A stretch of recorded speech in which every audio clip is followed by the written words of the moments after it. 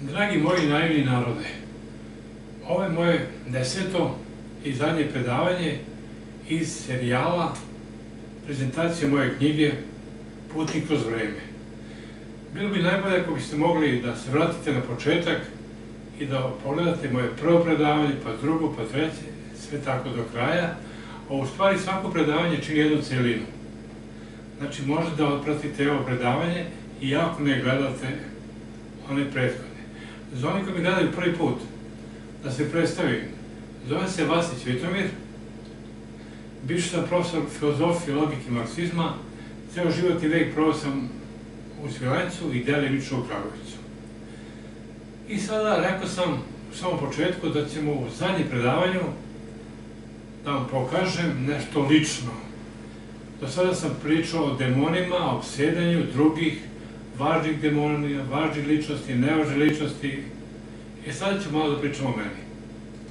Da upoznate i najzad i mene.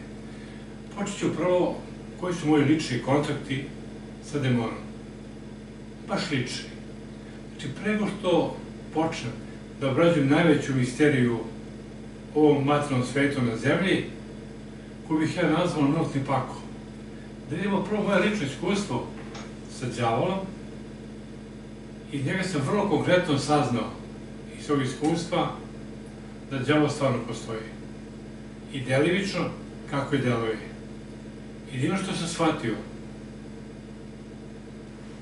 30 godina kako istražujem Boga, demona, da demon postoji kao natredna sila. Bili svesni toga ili ne, priznali ne, on postoji. Ne znam da li je zla, jer meni nije na, činio nikako zlo. Nikako konkretno zlo.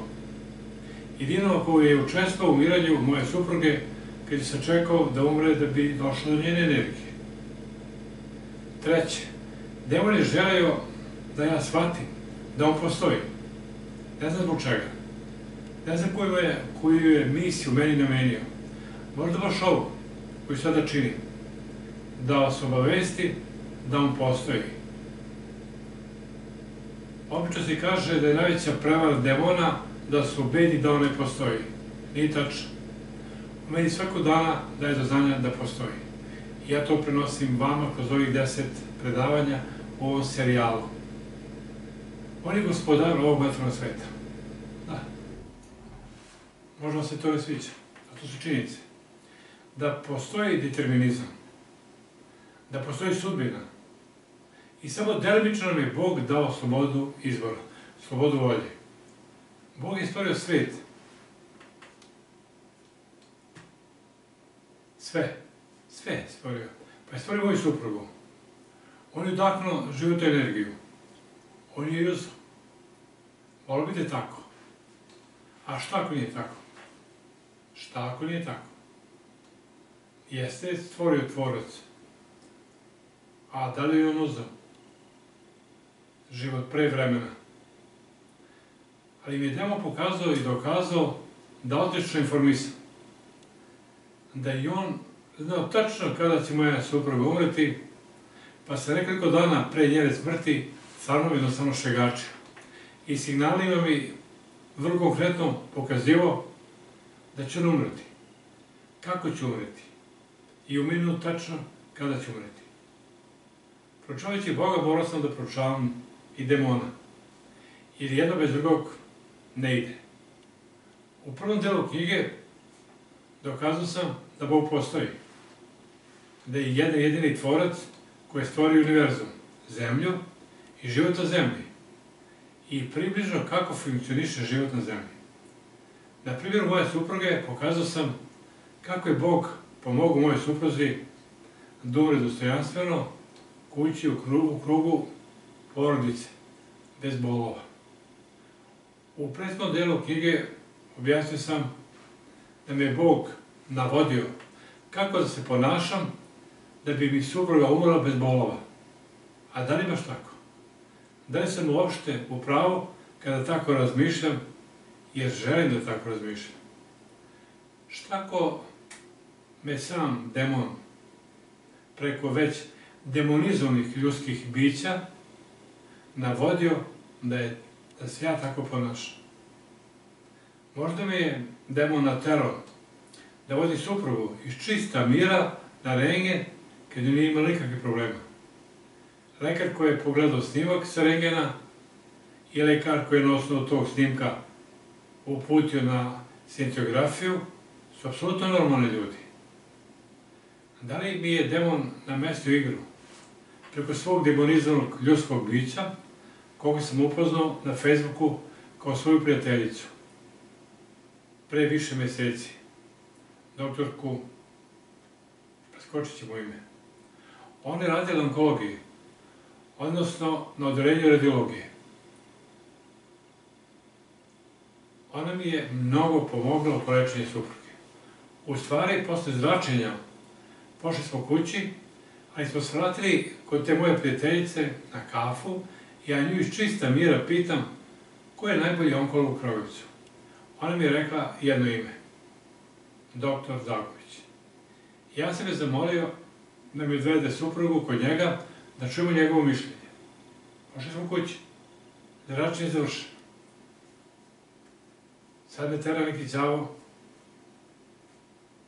ili je čisto slučajnost. O tome razmišljajte vi. Ja sam razmislio. Kad su se vratile, rekoše mi da on odmah, da je on odmah sazvao konziliju da su odlučili da, ne, da odmah ide na hemoterapiju. Hitno već od sutra. Poslušali smo. Otišla je i da smo shvatili da je neće moći izdržati, prekinuli smo, ali kasno. Ako tome dodamo samo onaj deo koji sledi o signalima, vidjet ćete kasnije, onda se stvarno pitam ko mi za, ko mi za suprug? Bog ili đavo? Uz pomoć demonizovane moje prijateljice sa Facebooka i lekara koji je predložio hemoterapiju. Znači, da nije otišao na hemoterapiju, možda bi umrla u strašnim mukama, a možda bi živao malo duže. Nikada to neću da shvatim. Samo mogu da pretpostavim. Nadam se da je Bog, ali tu se pojavio sad i demon. Vrlo konkretno. Pogledajte sad recimo sledeći prilog. Tada ću pokazati i dokazati da postoji demon. Pokušat ću da vam objasnim i kako funkcioniše ta negativna energija koju ja zovem jednostavno demon. Mada to nije adekvatno ime, ali poglašu razumevanja preuzeo sam taj termin iz narodnog jezika. Počelo je vrlo naivno i vrlo luka. Dok sam ja počeo da se, da beležim sve u kompjuter, pa sam stavio naziv Bože signali.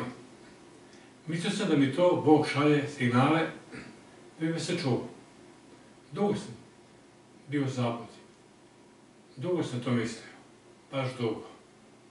Te signale sam primao isključivo preko televizora, u vidu osoba koji su mi govorili te reči koje sam čuo od njih i tumačio ih na svoj način. Mogu to da sve budu slučajnosti, bez ikakvog udobljivanja što ne znači. Nosili oni neku poruku ili ne, ali bilo ih je toliko mnogo da bi sve to bilo izgledalo kao slučajnost. Nije slučajnost, vidjet ćete. Prvo sam mislio da se iza tih poruka stoji Bog koji me štiti, šalje mi upozorenja da se pazim nevolja i da se upravljam po njegovim signalima za moje dobro. Počeo je to 2. augusta na Svetog Iliju. Sreo sam svog prijatelja 2008. godine, znači 2. augusta, koji me je pozvao da dođemo večeras kod njega na pečenje, odnosno slavu. Ja sam suprozi za vreme ručka to rekao, kad se odjednom na televizijskom ekranu pojavi neki lekar u nekoj emisiji, koji samo kratko reče, ne, nikako ne treba jesti svinsko meso, a posebno pečenje, jer se povećava holesterol i trigliceride. Kakva slučajnost? Prokomentarisali smo oboje. Jeste slučajnost bila prvi put.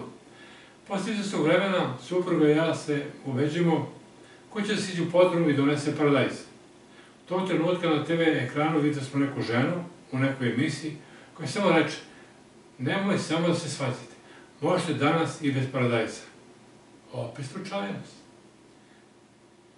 27. septembra 2008. godine isti taj prijatelj razgovarao sa mnom i zbog privatnih problema koje sam imao nisam znao kako da ih rešim.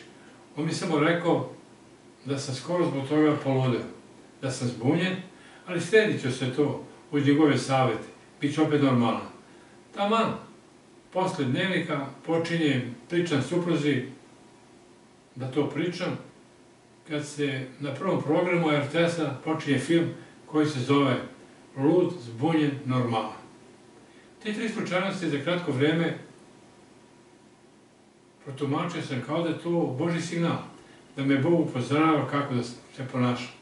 Prvo da ne jedem svinsko meso, da te se ne svađa sa suprugom oko nečega beznačajnog i treći da treba da budem strpljiv.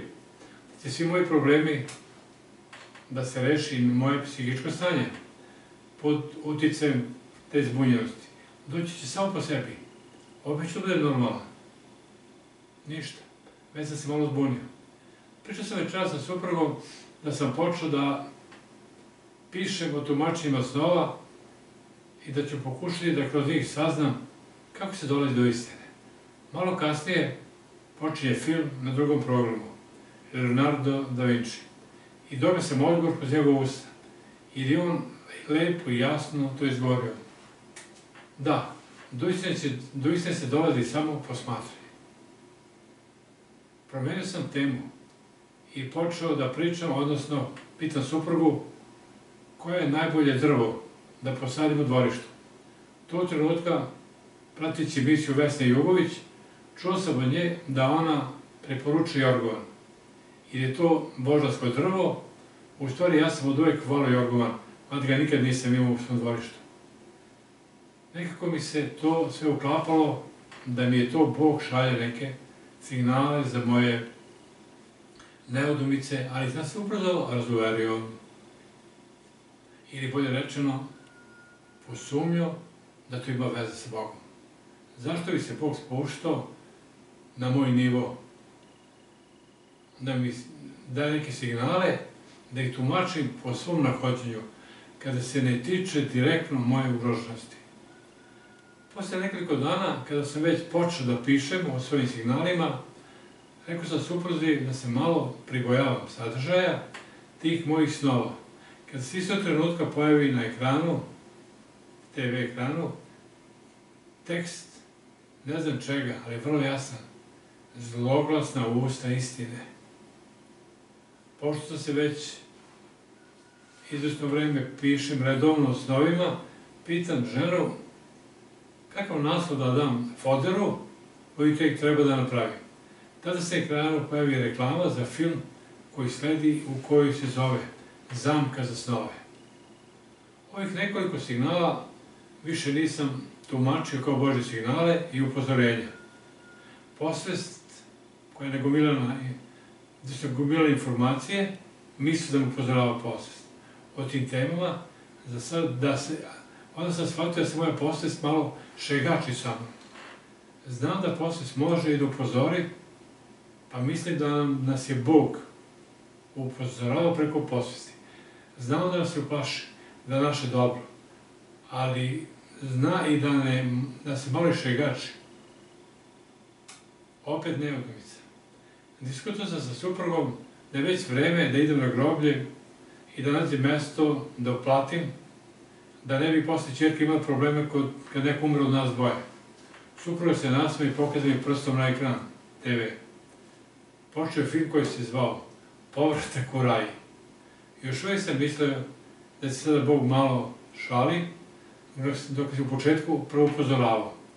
Kada sam prošao mesto i posle nekoliko dana počeli smo da se dogovorimo od kojih para da to platimo, gde da zakinemo, nisam se odmah, nismo se odmah složili. Na TV ekranu pojavi se neki čovjek i još to reče, sredite financije vas dvoje. E, tada sam već prvi put posumnjao da za toga ne stoji Bog. Verovatno su to sve slučajnosti koje primećujem jer želim da ih primetim, jer sam počeo da ih beležim. Ili posvesno, ili reaguje na ponašanje svoje tela. Supruga je postavila da ručamo, ja se nešto neckam, kao nije mi vreme, rano mi je, ne jede mi se, još tog trenutka ide neka domaća serija i neki muškarac nekom energično reče, ma jedi bre. Sa suprugom pijem ujutru kafu. Ja se, ja joj objašnjavam da sam počeo da beležim te Bože signale, ona mi kaže da pričam gluposti, da su to sve slučajnosti koje se dešavaju svakome, samo drugi za razliku od mene ne obraćaju pažnju na to. Rekla mi je, baš bi volila da se meni nešto konkretno desi, da mogu da poverujem u sve to. Istog trenutka se čulo zvono na voznim vratima. Supruga je ustala, ali čeka da ja izađem, jer ne zna ko je na vratima. Tog trenutka prolazi neka reklama za neko sredstvo za pranje veša. I dve žene stavljaju veš na žicu. Jedna drugo, jedna od njih kaže onoj drugoj. Neko ti zvoni i vidi ko je. Kad je moja supruga to čula, mehanički je pošla prema vratima. Kad je stala pored vrata, ponovno se čulo zvono. A pred vratima nije bilo nikoga. Ostalom, niko ne bi ni mogao da zvoni, jer imamo visoku ogradu i interfon. Zvono je stajalo od pre, kada nismo imali ogradu od 2,5 metra. Vratila se bleda, bez komentara.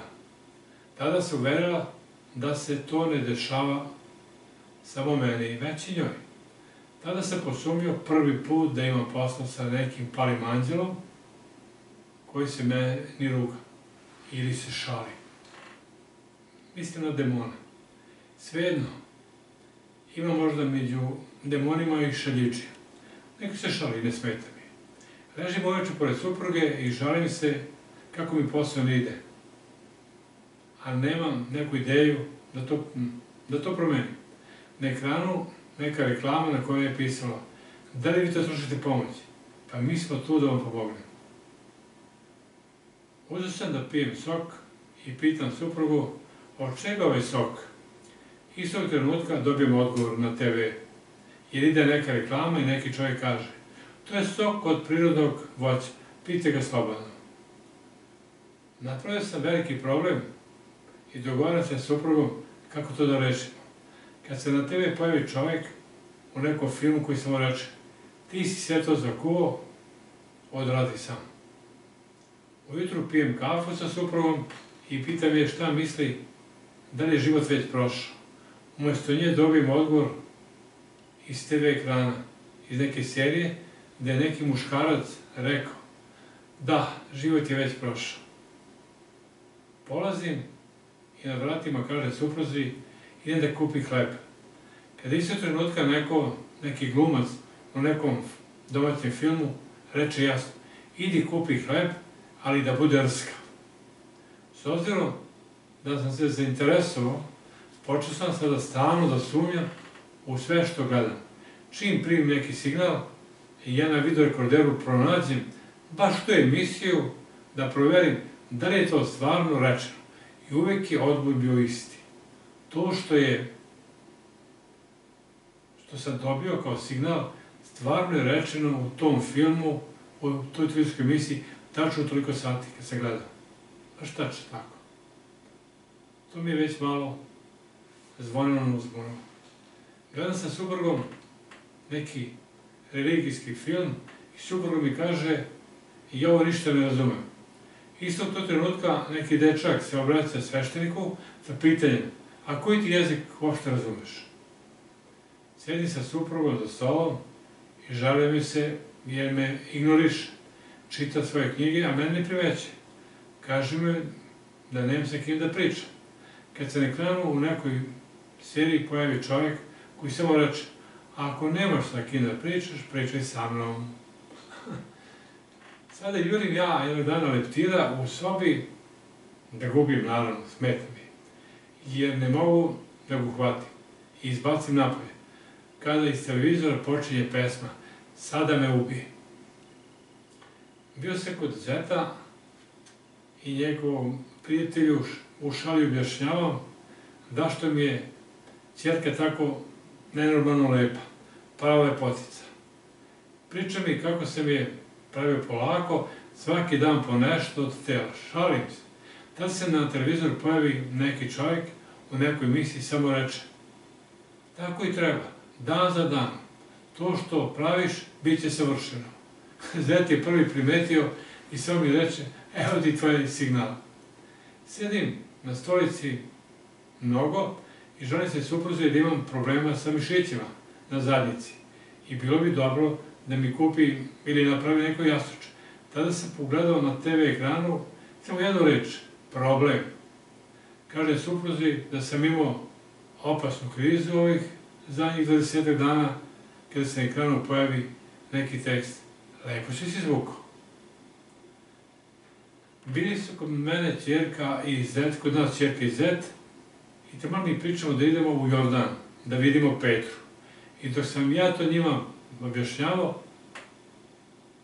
promenio sam kanal kada njemu Petra. Nešto sam bio razočaran i kaže supruzi, više mi se ne živi, hoću da umre. Na TV se pojavi čovjek koji samo reče, samo požuri i realizuj tu želju što pre. Stojim pored televizora, supruga je izašla i ja jako ispustim gasove, ajde da ne kažem šta, bezobrazno. Kad neki čovjek na TV samo mi reče, je ti sada laknulo? Žalim se supruzi što je pojela sa sladoled, što meni nije ostavila ni malo. I kažem da sad idem da kupim samo meni sladoled. Na ekranu pojavi se neki lekar koji reče, nemoj da jedete sladoled, to nije zdravo za vas. I nije, jer sam diabetičan. Zar ovo ne može da bude koketiranje djavola sa svojom žrtvom? On se meni, verovatno, vrlo lepo i elegantno približava. Uveče priča supruzi da treba da ide za Kragovic u petak. Pojavi se na TV čovjek u nekoj emisiji koji postavi konkretno pitanje. A gdje ćeš da ideš u petak? Suprug gleda neki, za mene, neke gluposti na televizoru, ja kažem šta će ti to, onda reče, pa meni se sviđa. Pojavi se na ekranu neka žena koja ošto reče, promeni to. Evo još nekoliko primjera ću da vam napravim pa da vam ne dosađe više. Supruga mi kaže da su mi pokreti čas mladarački, čas starački. Ja joj kažem da su to zadnji trzavi mladosti. Na TV neka žena, astrolog, samo reče bliže se kraj, ali samo Boga mi ne da. Uzimam lekove da pijem i objašnjavam suprozi da pijem 9 tableta dnevno zbog pritiska i diabetesa. Pojavi se televiziji Palma plus neka doktorka koja reče nije dobro da se piju toliko, da se, piju, da se pije toliko lekova. E sad, završavamo. U Parali u Grčkoj nervira me tuš, pa sam počeo da se delim i psujem. Upaljen televizor i kanal je, kanal je prva srpska, jer je tako Grk podesio nama Srbima, jer samo dok hotelu bili su Srbiji. Na TV ekranu ide neka serija koju supruga gleda i čujem njen glas. Daj, smiri se, šta si se razbesneo? Nije rekla supruga, nego u nekoj emisiji neko je rekao daj, smiri se, šta si se razbesneo. A ja baš tog trenutka besnim. U istom hotelu Parali saplete se na krevet i su pored bili koferi i supruga mi samo reče što ne paziš, pa ovdje da padneš. Na TV pojavi se neki čovjek koji reče ma pusti, ma pusti ga budala, neka padne. E, tako te signale, dragi moji, ja sam primao, veru ili ne, dve i po godine. Samo sam 30-ak odabrao, mogu sam da vam napišem 200. E sad, moji prekognicijski snovi. To je isto jako interesantna tema. Pojam prekognicija, mislim da znate, predstavlja uvid u budućnost. Odnosno, navodno, psihološku sposobnost da se vidi budući, budući događaj. Ona se često vezuje za snove i stiče kao jedna od njegovih najzanimljivijih funkcija. Mnogi ljudi veruju u mogućnost da njihovim, njihovom analizom, analizom snova, može da se predvidi neki događaj. I pretpostavljaju da njihov sadržaj ima isti značaj kao i bilo koji vid proricanja. Znači, prekognitivni snovi su često povezani sa snovima predviđanja. Oni daju buduću viziju. Pojedinac stiče buduće informacije koje se ne mogu dobiti kroz senzornu percepciju i izvesti iz trenutnih dostupnih podataka. Takođe, oni mogu predvideti buduće događaje, njegov rezultat ili pružiti informaciju o objektu, mestu ili osobi. Koncept prekognicije u snovima nije nov. U stvari, u starim vremenima verovalo se da su snovi poruke od Boga. A u Bibliji se mogu naći slučajevi prekognitivnih snova. Herbijski proroci su se isticali da su ovi snovi bliski ili blisko povezani sa proročkim moćima. Moći bili proroci, pa su imali te moći da mogu pomoći da promene čak i budućnost. Postoje podaci o nekim klasičnim primjerima prekognicije u snovima. Pitanje u svim tim situacijama je da li su prekognitivni snovi mogli da promene svoju budućnost. Poznate slučaj da je, da je Abraham, Abraham Lincoln imao san o u Beloj kući samo dve nedelje pre nego što će prijatelj tata na njega. On je u svoj video sebe kako pita nekoga koji je u mrtvačkom sanduku. Odgovor je bio predsjednik Sjedinjenih država. Mark Twain imao recimo prekognitivni san u kojem je video svog brata u sanduku. Nažalost, nedelju dana kasnije, njegov brat je umro. Albert Einstein je rekao da je u svojima shvatio teoriju relativnosti. Još jedan primer preskazanja u svojima bio je potapanje Titanika. Nakon što je ovaj brod potonuo, utvrđeno je da, da svoje putovanje zbog tog prekognitivnog sna koji su imali o brodu. Navodno bilo ih je nekoliko koji su mogli da protumače svoje snove na pravi način i spasiti svoje živote. Dok je bilo mnogo drugih koji nisu mogli protumačiti svoj san ili su jednostavno ignorisali. Ti koji su ga protumačili imali su plaćenu kartu, ali nisu se ukrcali. E sada, deset dana pre smrti moje supruge, tačno 15. decembra 2011. godine, traži sam neki san. Ujutro pogledam u sanovnik koji sam juče donao iz knjižare i prvi put u životu pogledao sam šta to znači i nisam verovao u te budalaštine i, i, i nikakve horoskope, našto dnevno. Tumačenje sna za se svelo na jednu rečenicu. Izgubit ćeš dragu osobu. Nešto me kopkao, hajde da pogledam u toj istoj knjizi Arabsko pogađanje sudbine. Kad pogledam rezultat, a ono i piše, izgubit ćeš dragu osobu. Već sam se zamijerio. Nije mi bilo prijetno, jer je rečeno dva puta. Čuo sam za vizije, u koje nisam verovao i ih nikada nisam doživio. Ovo što sam doživio, ne znam da li je san ili vizija. Sjedim u fotelji i gledam film na televiziji. Film je akcioni, uzbudljiv. Jednog trenutka, kao da sanjam, ali nikada nisam u životu, nisam vidio tako, tako jasno sanjam, da sam vidio svaki detalj, ako hoćete svaki ekster. Supruga idemo preko nekog mnogo dugačkog mosta. Rejku ne vidim. Kad smo došli do samog kraja mosta stoji neka ograda. Ispred nas sve je crno. Cijelo nebo. I levo i desno. I ja kažem suprozi, nema gdje više. Ona odgovori izgleda da smo došli do kraja. Polako se okrenemo i naslonimo se leđima na tu ogradu. Kad sa njene strane, odakle smo došli, sa njene strane nebo je crno. Sa moje strane svetlo, svetlo, kao da je izglasalo sunce. Baš tako, blješti. prosto blješti. Razbudim se i vidim film ide dalje. Tačno i nastavljam da gledam, i to tačno tamo gde sam stao. Ni sekund nisam izgubio. A meni to tako bilo dugo. Tada sam nazad shvatio da će mi supruga, nažalost, preminuti. Nisam siguran da je to bila vizija ili moj san, tada. Kada sam to zapisio, sada znam, to je bila vizija. Tri dana pre smrti supruga gledam televiziju na lokalnoj televiziji Centar.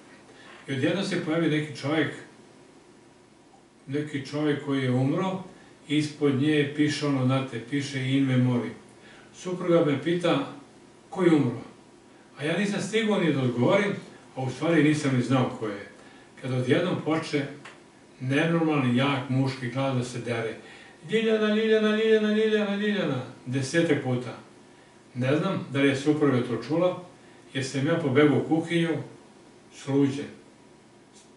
Vratio sam se u sobu i pitam da li je čula. A rekla je, nisam, nisi mi ništa rekao. Znači, to je bilo namenjeno svo meni. Sutradan stojim pored njenog kreveta, kad nešto prođe kao crna senka preko prozora sa desna na levo. Ona to nije videla. Pitao se me šta to znači, pitao sam se šta to znači, znači da to ne sluti ništa dobro. Shvatio sam dva dana kasnije, kada je moj zed baš na toj levoj strani stavio crno platno i umrlicu. To je nešto najstravičnije što mi se desilo u životu. Na dan njene smrti desilo se nešto stravično. Imam ogroman krevet gde mogu četvro da spavaju. Supruga leži na samom početku od vrata, u gornjem delu, jer je onako sitna. I sada, a sada posebno. Ja sam na drugoj strani tog kreveta stavio veliku sveću i šibicu, jer očekuje da će umreti, jer je već spala u komu. Imam samo jedan bubrek i onda je okazao, otkazao kako je me rekao urolog, koji je već otišao. Rekao je da budete spremni, umreće za nekoliko sati. Otišao sam do onog drugog, do onog, do kraja drugog kreveta, da, pri, da približim sveću, ona sad mora da se, može sad, ona sada ne može da primeti. Ona je komi sam mogu sveću da donesem bliže. Uhvatio sam sveću, koja je bila dugačak metra. Ta ogromna sveća ispadne iz ruke. I umjesto po zakonima fizike, gravitacije, da pođe napred i udari u radijator koji je ispred mene, ona se nekako, ona nekako prošla, kako je bilo ovako, ona se okrenula i meni prošla kod milion noge. Gde nisam ni vidio, samo sam čuo kad je lupila. Stavio sam se ispod kreveta da je dohvatim. Na drugi kraj kreveta dežura moja svastika, pored sestre, i samo mi reče, ako tražiš sveću, evo i ovdje ispod ilje. Kako je ona bila ovako? On se okrenula ovako, išla skroz do kraja kreveta i okrene se ponovno ovako. To nauka ne ume da objasni. Ja sam otišao s one strane kreveta, kad sveća leži tačno u gornjem delu ispod njenog tela. Shvatio sam odmah i rekao Anji, njenoj sestri, pazi, ona će da umre. Posle jednog sata izdahnula je tačno prvi put u 12.00, drugi uzdah minut kasnije, a treći 12.02. Majka je Ukrajinka, roda su ravnoj reci.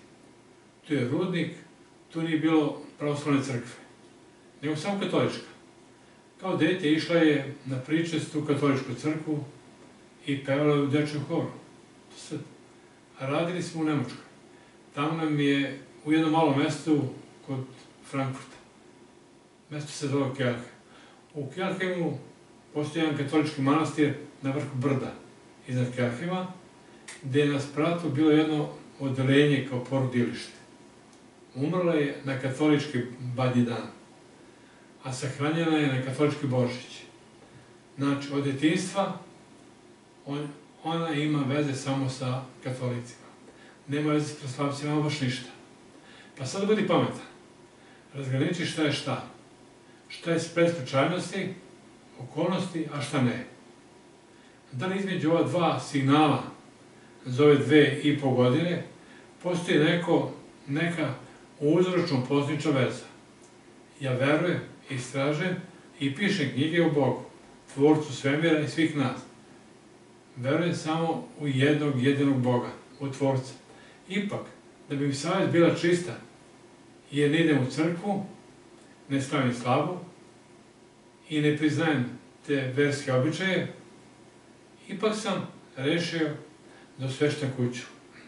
Jer sam shvatio da možda to nisu Boži signali. Možda nije se moja posle samo šegača. Već da imam posla sa nekim palim anđelom, ako ne, možda i sa samim džavolom, koji mi se ruka. Nije bio džavo u pitanju, bio demon, mali demončić. Moj kući ljubimac, vidjet ćete kasnije. Zašto sam to uradio? Zato što mi se vrlo često događale čudne stvari u kući. Nalazim nešto što je nelogično. Per od neke ptice, jedno čak i mrtvog vrapca. Pomeraju se sami predmeti. Nekada ne stanu, pa se pojave na mestu gde su i bili. Ali najpečatljivije bilo pomeriti jedne slike iz spavaće sobe koja je visla tačno iza moje glave. Gde spavam? Konstantno sam jednu devojku, čuvenog psihologa iz Kragujevca, gospicu Katarinu. Pričao se me šta se to dešava, da možda to, ja sam, da, ja sam smatrao da možda ja to radim nesvesno, da nisam svesna toga. Za nju je to bio naj, najupičatljiviji primer pomeranja slike na zidu. Pitala me da li imam kameru. Kada sam rekao da imam, samo se slatko nasmejala. Shvatio sam, a nisam se setio. Isto već uključio sam kameru. Tačno dva sata vidim lepo kako se slika pomera sama. Iskrivi se na levu stranu. Sutra dan ništa. Bio sam uporan da mesec dana sedam puta se iskrivila. I tu uvijek između dva i tri sata. Nikada ne u isto vreme. Ono posle sahrane, dva sveštika su mi osveštala kuću. Posebno su obratili pažnju na tri televizora, tri plazme na zidu, mada sam signale primao samo sa dva. Mislio sam da je sada kraj. Ali nije. Sutra nam posle sveštenja kuće pronalazim ženi novčanik, tražim njenu ličnu kartu kad tamo tri njene male sličice i jedna čerka. Polazim da sprate da ih stavim, gde su albumi. Već na prvom stepeniku ja ih ispuštam. I slike su pale na merberno stepenište. Podignem suprugine trija čerke nema nigde. Sve je čisto, a slike nema. Tada primetih da sam uza zid sa leve strane stavio registrator da odnese sa dokumentima koji sam planirao da kasnije odnesem na sprat, pa nisam primetio sam, po, pomerio sam ga da ponesem na sprat i vidim čerkinu sliku koja lice bilo krenuto zidu, a leđima meni. Shvatio sam poruku. Iznenadio sam se, kuća osvešćena, i to sa dva sveštenika. U stvari, sveštenik Toma i moj prijatelj sveštenik Raka. Tada se setio. Sveštenik Toma Svešnik to mi ugasio se kandilo na prvom stepeniku. Nije ga upalio, valjda ga je mrzalo. Te kada se popeo gore na sprat, on je ponovo upalio kandilo i nastavio sa ošišćivanje kuće. Kuća jeste osvešćenja, ali nisu merbene stepenice. To je dokaz, to je najbolji znak da osveštenje kuće je urodilo plodom i to bih preporučio svima vama koji me gledate. Ja u to nisam verovao, ali sada verujem. Jer imam dokaz, dokaz je moja kuća. Sada se pitam, ko je meni za to upozorenje? To sada odbacujem moju posvest, jer ona nije mogla da se šegači. Nije mogla da se ponaša onako kako se ponaša. Nije mogla da mi krivi sliku. Nije mogla je da ja sam malo skrene pa pomeri sliku pa zaboravi. Da, ali sve su mi to bile nelogične stvari. Tu na sliku, da sam hiljadu puta pokušavao da je bacim. Nikad ne bi mogao da pogodim, baš da padne između registratora iz. Nikada. Isto kao onu sveću, hiljadu puta da sam bacao onako sveću, nikada da s nekim feršom ona ne bi mogla da se sama mi prođe između noge i opet se okrene i stane ispred moje supruge. I svega ovoga mogu samo da zvučim jedan jedini zaključak. Ovo nema veze sa posvešću, niti marilnim svetom, u pitanju je energija, ali čija? Od osveštene kuće više nisam primao nikakve signale. U kući sa televizora. Izgleda da je osvešćenje televizora urodilo plodom. Danas, 2. januara 2000. godine, odao sam sveću na groblje, suprusi. I dok sam čekao, primetio sam da jedan buket cveća je nekako pao sa humke, pored groba. Stavio se ga na vrh gomera. Duo je neki blagi vetrić i odjednom osjetio sam jak vetar vidio kako taj buket leti u vis i pada tamo na peti, šesti spomenik. E, I vidim kako pada. Sasvim, na jedno 20 metara susedan grob. Otišao sam ga da ga uzme. I slučajno sam pročitao od koga je. Bio od moje, od porodice moga pokojnog brata. Odnosno od njegove žene. Koja sa mojom suprugom skoro nikada nije govorila. Vređila cijelo života. Ipak je došla da ljudi vide i donela je venac. Izjavila mi saočešće. Hvala je. Ali moja supruga je nije žela. Ja sam uzao taj venac i ostavio sam ga tamo gdje ga vetar i odne. Nisam želeo da prekosim supruzi. Ne znam šta sam tada mislio, ali sam shvatio da moja supruga taj buket neće na svom grobu. Jednostavno neće. To su sve paranormalne pojave u koje vi možda verujete, a možda ne verujete. E, sada da vidimo jedan moj primer, odnosno nekoliko primjera i na kraj šokantni zaključak, pošto je ovo još do desetak minuta od mog zadnjeg predavanja, odnosno od serijala od deset predavanja, koje je trajao tačno 10 sati. Ovo je sad neki zaključak. Dan pre smrti mog oca, koji je znači bio zdrav, u prisustvu svoje supruge pitam komšiju Sašu koji radi u pumpi u Svilajcu. Da li je sutra tu? Pita me zašto ga pitam. Odgovorio sam mu da će sutra, da će mi sutra umreti otac, pa da mi se naće, da mi pomogne. Njega supruga se samo nasmeša, nasmela i rekla, baš si stvarno lud kad se time šegačiš. Sutra mi je otac umro. Doživao je uveče iznenadan infarkt. Gledao sam televiziju kada je utrčala moja majka od Emine i rekla da mog oca boli mnogo pluća. Bio je čiraš i prva asocijacija mi je bila da mu je pukao čir. Brat i ja smo ga odvezli u hitnu pomoć u Silencu dobijemo uput za bolnicu u Ćupri. Nemoj te, i mi ga vozimo. On je ležao pozadnje na zadnjem sedištu, a brat ga je držao. Kad smo bili na mostu na Moravi, podigao se i pitao gdje smo mi sada. Brat mu je odgovorio da smo na mostu na Moravi. On je odgovorio, aha, nije to taj most. Posle nekoliko kilometara postoji mali mostić na reci Rači. Kada smo bili ispred mosta, on je počeo da se guši, da krklja. Stao sam na sve mosta. Brat mi je rekao, on je umro. Hajdemo natrag. Vratili smo se natrag. Šta je to stravično s umiranjem na mostu, na Rači? Otac je bio strastni ribolovac. U zadnje vreme nije više pecom, na Moravi po, po blatištima, gde je projao ceo život, nego ispod mosta, na reci Rači, tu gdje je umro išao na pecanje jednom, jednim malim motočtom. Jedno dan motočto se pokvarilo. Pitao je mene da li mogu da ga odvezem na pecanje. Ja sam ga slagao da imam neki posao ko bajagi i odbio se ga. Imao sam vratno neku dobru školeraciju, pa nisam mogao da odbijem. Nikada pre toga nije seo u moje, u moje kola. Kad je prvi put seo silom prilika, on je u tim kolima i umro.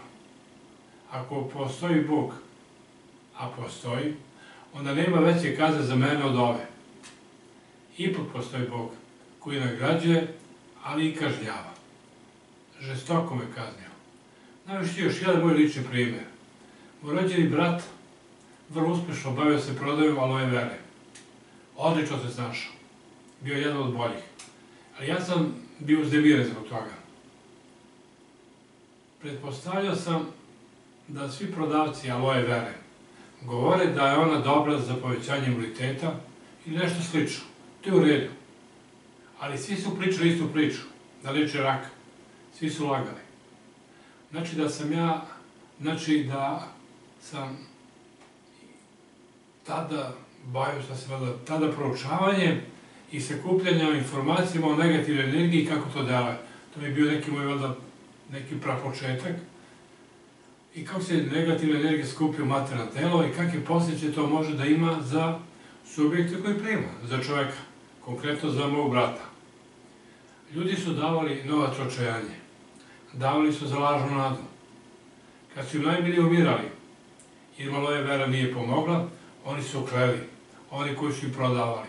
Bolje rečeno, slali su im negativnu energiju. Kada se nakupila dovoljno negativna energija, onda se umeša naravno i Bog. Kako? Pa kazni toga koji prodaje ljudima lažnu nadu. Obraćao sam se bratu i zamolio se ga kada prodaje, da ne reklamira da leči rak. Mene je supruga bila bolesna od raka. I ja se kupila i veru. Ali ne od njega. Teo i onda mi proda. Ali ja nisam to kupio od njega. Kupio sam u Novom Sadu. Isti efekt. Rekao sam mu u oči da će možda poginuti na autoputu kada ide da, da je uzme ili je prodaje. On mi se smeje u lice. I nije rekao ništa. Posle 20 dana umro je na promociji Aloje Veru Ćupri. Da me poslušao, doživio bi duboku starost. I je bio, za razliku od mene, mnogo zdrav. Izniću vam sada jedan moj primer. Bio sam za kompjuterom sa svojom bivšom učenicom, a sada glavnom saradnicom Draga Potočara. Zazvonio je telefon i ja se javio. Zvao me, zvao me je posle Mira Alečković, naš najbolji jugoslovenski pesnik Dragi Jevremović iz sela Roćevca, kod Svilanjca. Pitao me je da li mogu da mu kupim kada idem u Beograd knjigu Ljuljaška daha, koju je napisala Herta Miller. Začudio sam se i jesam znao da ima. I to sa potpisom Herta Miller, koja mu je, koja mu je napisala kada su se sreli u Beogradu. Rekao mi je da su mu krali. Nisam stigao ni da mu odgovorim, kad se slaže pala jedna knjiga. Gospođa Nadežda se savjela da je podigne i umjesto da je, da vrati u policu, ona me stavila na sto. Kad sam pogledao, to je bila ta knjiga. Neverovatno, ali istinito. Ako ne postoje slučajnosti, ako postoji uzročno poslična veza, kako onda objasniti ovo što mi se desilo? Evo šta mi se desilo. Lepo vreme, idealni uslovi za vožnju, vraća se iz Kragujevca. Ispred Batočine postoji prav put u dužini najmanji kilometar. Pretiče. Ne vidim auto koji dolazi iz suprotnog smera. Odjednom ispred mene auto se stvorio. Samo sam se uhvatio za glavu i posmatram kao da sam u bioskopskoj sali šta se dešava. Volan sam se okreće.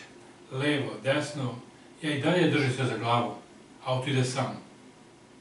Dok sam shvatio da treba da uhvatim volan i kočim, ne znam koliko je prošlo. Stao sam i zašao iz kola. Auto koga sam preticao bio iza zaustavne trake. Srećom na tvrdoj potosi. Auto koji mi je išao susret bio na travi pored puta. Kada sam vidio tog dana svog kuma, Ivana Živkovića iz Kragovica, pričao sam o tome.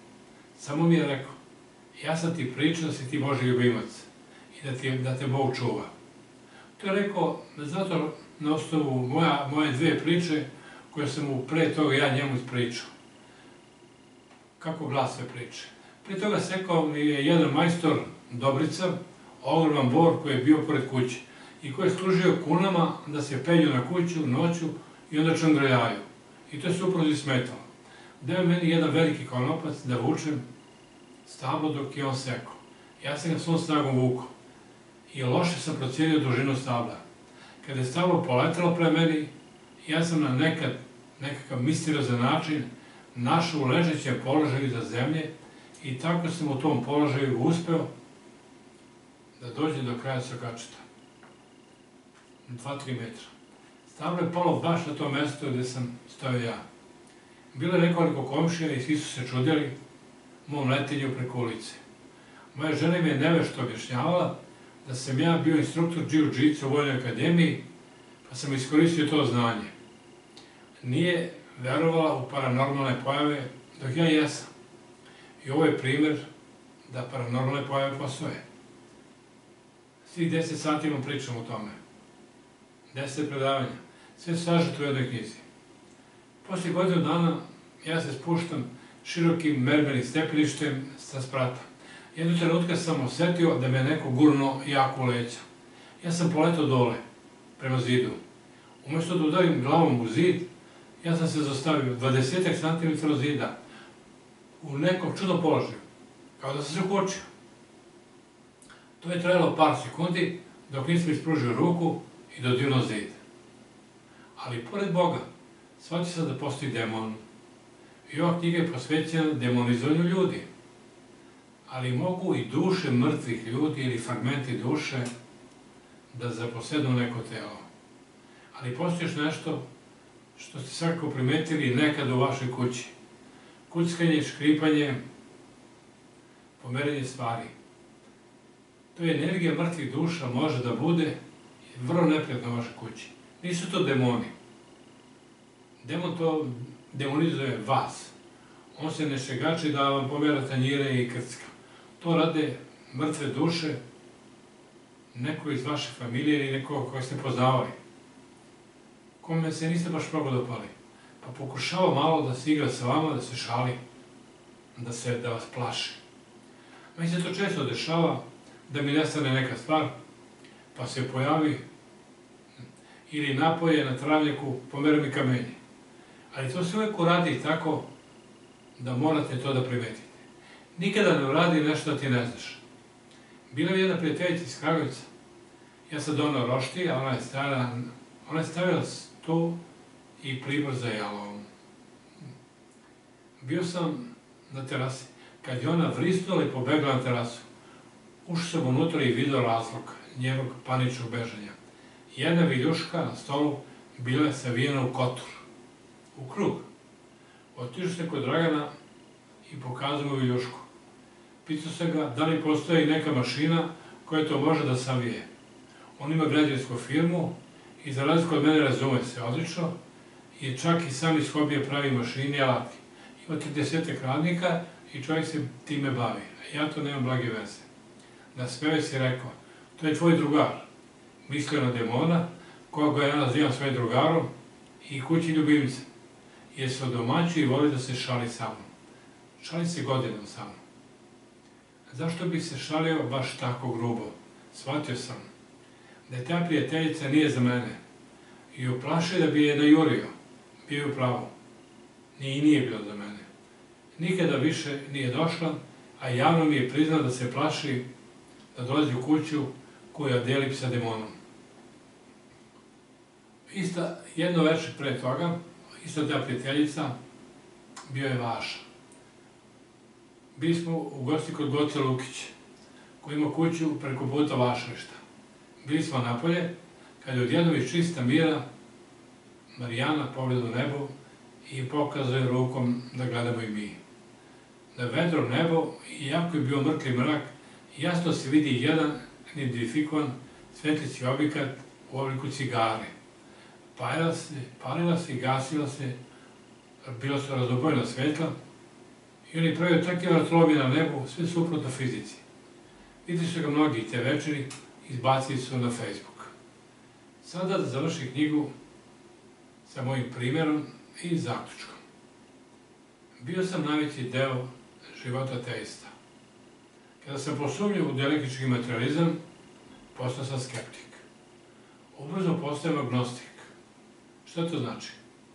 Agnosticizam je pogled koji kaže da je nemoguće da znamo ili dokažemo Boži postojanje. Reč agnostik u osnovi znači bez znanja. Agnosticizam je samo intelektualni nivo ili oblik ateizma. Ateizam tvrdi da Bog ne postoji, što je pozicija koja se ne može dokazati. Agnostici tvrde da Bože postojanje ne može biti dokazano, je nemoguće da znamo da li Bog postoji ili ne. Kada se radi o ovom konceptu, agnostici su u pravu. Bože postojanje ne može se empirijski dokazati, a samo empirijski. Ja sam dokazao da postoji Bog. I vi znate da postoji Bog. Zbunio sam se, bio sam u kontradikciji, sam sa sobom. Obraćao sam se za pomoć Bibliji, koju godinama proučavam. Bog je odlučio da mi se pokaže na jedan alegoričan i metaforičan način. U ostalom, tako i pisani Biblija, koju čak i većina sveštenika ne razume. Čite kao roman. I pored tog saznanja da mi se ukazao Bog, ja ipak nisam postao vernik. Vernici stavljaju veru ispred zdravog razuma. Ja to ne mogu, kao bivši profesor logike. Ja sam stavio zdrav razum ispred vere i sa zdravim razumom hoću da shvatim šta je ili ko je Bog. Shvatio sam da ne Bog, nego bogovi postoji u različitim energetskim delovima sveta. Sveto trojstvo, Isus Hrist, Bog, Bogrodica, Allah, Rama, Krišna, Šiva i tako dalje. Da ne nabrajam više. Biblija upućuje na to da se Božje postojanje jasno može sagledati u svemiru. Tačno. Teisti veruju da Bog postoji. A teisti veruju da Bog ne postoji. Agnostici veruju da mi ne treba da verujemo ili ne verujemo u Božje postojanje, jer nemoguće da to znamo. E sad evo da objasnim malo drugačije ko je od njih u pravu. Ako ne postoji Bog, teisti, ateisti i agnostici, svi zajedno će prestati da postoje posle smrti. Jednostavno ne, nema ih više. Ako postoji Bog, ateisti i agnostici će morati da odgovaraju nekome kada umru. Zašto su šegači sa Bogom? Ako ni jedna, ako ni jedna pozicija ne može biti potvrđena, nije li mudrije da se napravi svaki mogući napor da se poveruje u poziciju koja će imati željenu posljedicu za cijelu večnost. Normalno da sam bio skeptik. Ili imamo sumnje. Postoji toliko stvari u ovom svetu koje mi ne razumemo. Često ljudi imaju sumnje po pitanjima Božeg postojanja jer ne razumeju ili se ne slažu sa stvarima koje on radi ili ne radi ili dozvoljava. Međutim, mi kao ograničena ljudska bića ne treba da očekujemo da budemo u stanju da razumemo beskonačnost Boga. Bog je spreman da se otkrije na čudesne načine onima koji veruju njega. Peta Mojsijeva 4 kroz 29 objavljuje Ali ako onda potražiš gospoda Boga svoga, naći ćeš ga. Ako ga potražiš svim srcem svojim i svojom dušom i, i svojom dušom. Meni se ovaj zadnji deo mnogo dopao, jer je logičan, a razumijem. Ja sam ostatak svog života posvetio tragnju za Bogom, jer sam očekivao da ću ga naći. Sva moja istraživanja sažao sam u jednoj knjizi koja nosi naziv Potraga za Bogom. Shvatio sam da sam Boži ljubimac, da me Bog štiti od opasnosti. Ali, kao rođenom skeptiku, ja sam se potpuno pitao Zašto i Bog nije pomogao kada se ga danima, nedeljama, mesecima, godinama molio da mi zdravi supruga? Logika mi dozvoljava da razmišljam i ovako. Ako Bog nema veze sa bolešću moje supruge, nije on dao karcinom, ali ga nije ni uklonio. To je pravo pitanje. Znam da postoji demon, kao negativna energija koja ljudima čini zlo. Pa daj karcinome. Moj zdrav, moj zdrav razum sada pita moju savest, mene, zašto se nisam obratio demonu da mi pomognem? Ako je on nešto dao, on jedini to može da uzme. Sada je kasno. Ja vam ne savjetujem kada vam je teško da se molite demonu za pomoć. Molite se vi dalje svom Bogu. Ovo je samo moj način razmišljanja, kao bivši profesor logike, gde sam stavio logiku, zdrav razum i ispred veru Boga. Sada je kasno, ali nije kasno za moje eksperimente, sa samim sobom. E sada vas pripremam polako za šok, uzmite lepo šećer i vodicu i idemo dalje. Kada sam bio u Kragujevcu na vrhuncu mog političkog angažovanja, kao ateista, komunista, protagonista direktnog mutilizma, kako je to došlo kod mene do metanoje ličnosti? Odjedno. Bio sam možda, ako ne možda, nego možda i najveći komunista u Kragujevcu. Bio sam angažovan svuda. Svuda. Ali preko sam se preobratio u sve suprotno toga. Postao sam teista. Govori da postoji Bog. To sam pričao čak i pri pripadnicima državne bezbednosti u regionalnoj političkoj školi. Da treba ukinuti marksizam i ovaj nauku u školama. Ukinuti sve političke škole u Jugoslaviji i u Kumrucu. Iako sam predavao o njima. Čak je nagovestio i postavljanje spomenika Isusa Hrista na ulazu u Kravicu. Gde su me žestoko popljuvali u njihovom dnevnom listu svetlost. Kad god vidim Isusa Hrista, kad idem u Kragovicu, uvijek maša. Kada znao sam, pre tebe da ćeš da dođeš. Shvatio sam da to više nisam bio ja. Onaj Vit od juče, onaj profesor Vasić od preključe. Neko mnogo pametan se useli u moj um i ovlada mojim mislima, telom. Ja pričam o demonizovanjima, o demonizovanju drugih, vladara, vladara novosvetskog poredka, obični ljudi. I vi mislite svo vreme kako sam toliko pametan i to sam video da su drugi demonizovani. A i, a i ne sanjate da vam to priča čovjek koji je upravo demonizovan. A to sam ja. Ja znam da sam demonizovan. Ja sam svjestan toga. Približite šećer i vodicu. Ta isti je od jednog uspešnog trgovca koji se bavio trgovinom. Druga metanoja. Imao se šest lokala u Svilancu.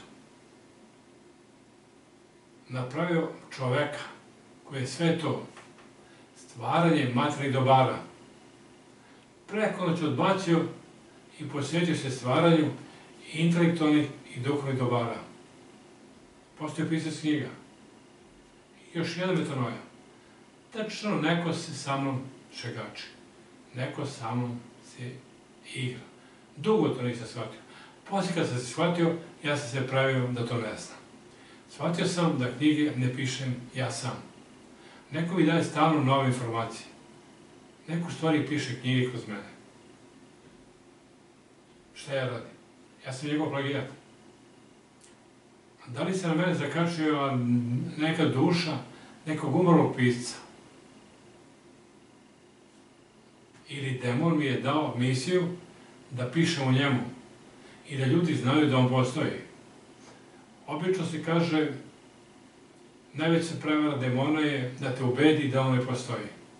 Kod mene je to bilo obrnuto. On je žel da napiše knjigu. Ne ovu. Ovo mi je 22. knjiga. On mi je dao informacije. Posle, počeo sam drugačije. Kad sam završio sa pisanjem, teo sad prekinem, pojavio se Dragan Potočar. Sada dobio informacije za zadnje tri knjige samo Dragana Potočara. Odnosno neke više sile koje govori kroz njega. Ne samo pisanje knjiga, nego jedno na YouTube, tačno 160 mojih predavanja sa ovim, o različitim temama. A to su misterije po svetu.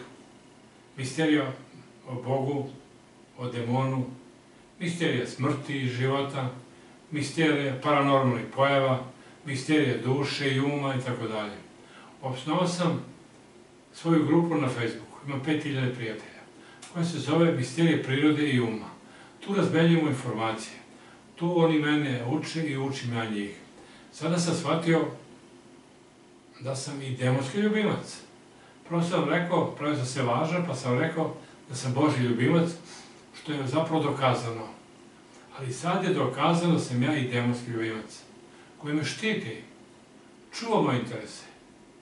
Demon je moj kući ljubimac, kog sam ja prepitomio. Ja sam njegov ljubimac. Pa sad, hajde, snađi se. Šta je šta?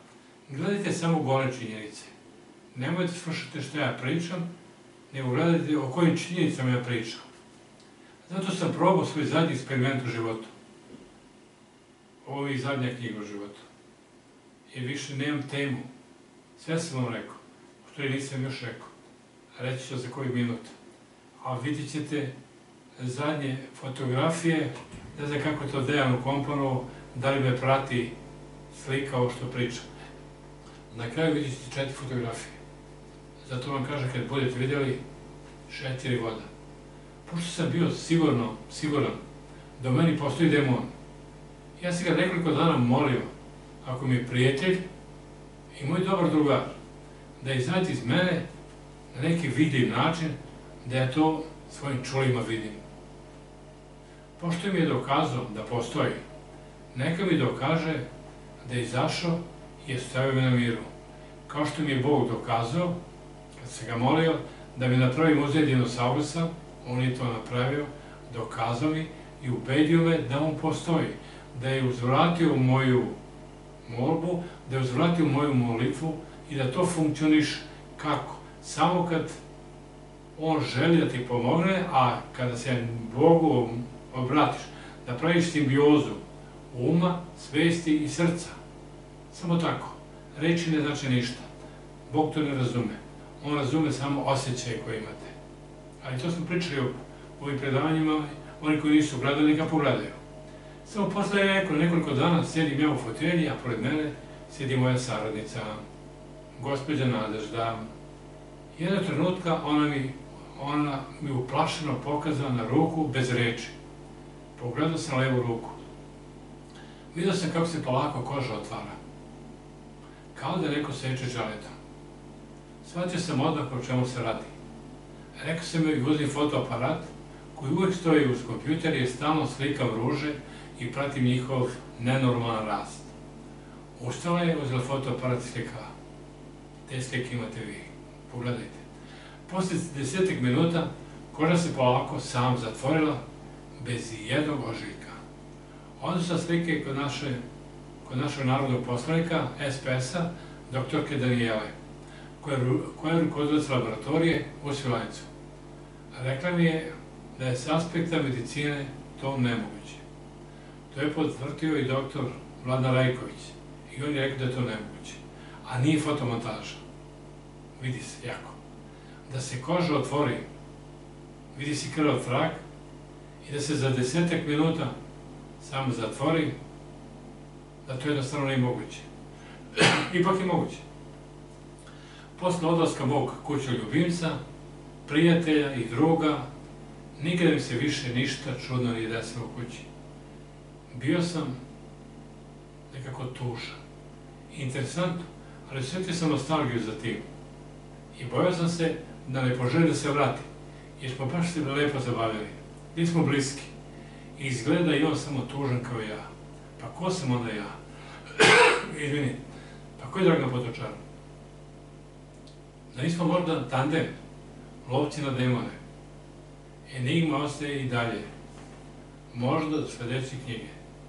Hvala vam što ste odpratili mojih desetak predavanja i što ste podržali moje predavanja. Ne znam da li možete da rešite moje dileme koje ja imam. Koje su moje dileme? Od, ateiste do vernika mogu samo Bog da me preobrazi. Neko ko će po desetak sati, već 12 godina, odveti svakog dana u traže za Bogom i to pretočiti u knjige. Moje sazrevanje od ateiste preko skeptika, zatim agnostika, možda bude moje lično sazrevanje. Ili da me Bog vodi i usmerava u nekoj njegovoj misiji koju mi je podario, da bi raskrenkao demona. Ili demon vrlo vešto preobražava i koristi me da bi, da bi me preobrazio u dejstu. Deista je onaj čovjek koji smatra da je tvorac, Bog, stvorio ceo univerzum, zemlju i život na zemlji, te se više ne meša u naše živote. Nema veze sa našim bolestima, ratovima, ubistvima. Jer nam je dao slobodu izbora. Sami možda se koljemo, bijemo i ubijamo. On nam to ne zbranje ako smo ludi, a ludi jesmo. Upravo treba im možda da napišem da je đavo jedini gospodar ovoga materijalnog sveta i da Bog tu nema nikakvu ulogu. Upravo đavo jeste jedini gospodar materijalnog sveta. Ako postoji zlo, a postoji sigurno, u ovom našem materijalnom svetu, onda je tu ne, neosporna uloga đavola u kreiranju naših sudbina, ratova, bolesti, smrti. To sam objasnio u knjizi Spasitelj i u knjizi o postojanju Boga. Dakle, nema Boga i njegovog mešanja u ovom materijalnom svetu, otkud onda toliko dobrog i lepote na svakom koraku i deliću zemlje, okeanima, na nebu, svuda. Zaključak je da sve će uticaj i Boga i, nažalost, i djavola.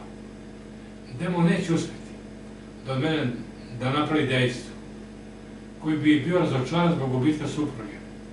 Tako nešto sam napisao. I znam da je Bog direktno, jer znam da Bog postoji. I znam da redko kada dele direktno. A da se to onda zove čuda, kad dele direktno. Čuda su vrlo redke, ali dešavaju se. Uvek on radi preko drugog. Preko drugih, kao u mom slučaju sa suprugom. To sam objasnio u prošle predavanje da se ne ponavljam. Šta reći na kraju našeg druženja? Pisanje knjiga, dragi moji, koji ste me gledali i slušali, nije meni cilj. Ja sam skroman čovjek. Ja ne pišem za pare. Ja sam više pogubio para sam pisao knjige nego sve što zaradio. Nego je sredstvo da ostavim utisak, da ostavim dubok trag u mislima drugih ljudi. U mislima vas koji me slušate, koji me gledate, koji čitate moje knjige. Moja životna filozofija je otkrivanje tajnih sveta koje hoće da podeli sa vama. Mi smo sada na pomolu jedne još jedne revolucije u razumevanju univerzuma. Postiče našu maštu jer daje čvrste argumente da se nalazimo u nevici još jedne revolucije u našem razumevanju univerzuma, možda čak i veće od onoga koje je najavila atomska doba. U knjizi sam pisao o Draganu Potočaru, igra se zove Putnik kroz vreme, on je jedini za sada, posle Nikole Tesla, putnik kroz vreme. Jedini za sada. Ja sam nešto otkrio. A vi treba da pronađete to što sam ja otkrio. Ovo je način da ukažem ljudima da moraju da proširuju svoje vidike, pre svega svoju svest. Mogu da odvoje neki dinar za kupujenu knjiga. Ne samo mojih, knjiga na sajmovima knjiga više se prodaju sendviči i pljeskavice nego knjige. Odlučite se. Da li želite da proširite svoju svest, izvinite na izrazu ili dupe. Izbor je vaš. U ogromnoj većini slučajeva je pogrešan. preće da shvati za Peskoviću nego za knjigu.